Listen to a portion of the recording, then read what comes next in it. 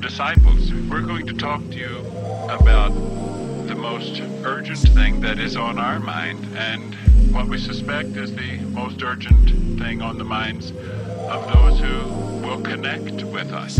Planet Earth is about to be recycled.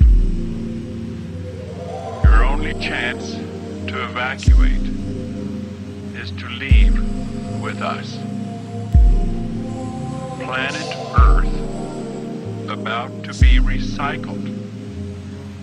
Your only chance to survive or evacuate is to leave with us.